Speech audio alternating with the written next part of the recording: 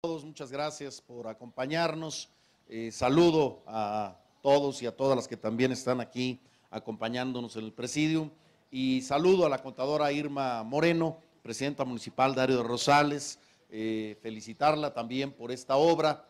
Eh, venimos del centro de Ario de Rosales, se está ya, se dio inicio a la construcción de la Casa de la Cultura de Ario de Rosales, que es una obra muy importante precisamente para los niños, para las niñas, para los jóvenes, que tengan un lugar de esparcimiento cultural. Eso nos da también mucho gusto, mucho ánimo para salir eh, adelante. Señalar también que nos acompaña el general Subía, él es el general comandante de la 21 zona militar con sede en Morelia, pero que abarca aquí hasta Ario de Rosales y que en días pasados, en conjunto con el gobierno del estado, la Guardia Nacional, el ejército mexicano, logramos que ya se restableciera el tránsito normal, el tránsito libre entre la Huacana y Ario de Rosales. Yo en un ratito más salgo precisamente para la Huacana y nos da mucho gusto que estemos recuperando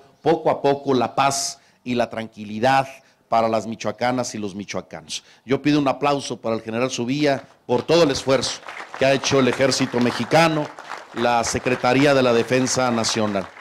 Y bueno, esta obra eh, eh, importante, relevante para esta colonia, para el de Rosales, pues aquí está el hospital del IMSS Bienestar, que precisamente le da atención gratuita a cualquier persona, que no importa que tengan seguro social o no lo tengan, es un hospital abierto eh, para 18 municipios. Vienen desde Páscuaro, aquí atenderse y toda la región. Es un hospital muy importante y qué bueno que se hizo esta obra que pues beneficia a el hospital, a la escuela y a todo el municipio de Ario de Rosales. Es una muy buena inversión y yo nada más concluir diciéndoles que Irma tiene todo nuestro apoyo, todo nuestro respaldo, que estamos trabajando muy bien con la presidenta municipal en excelente comunicación y que en todo lo que podemos la apoyamos, que sin eh, distingo partidista o de colores,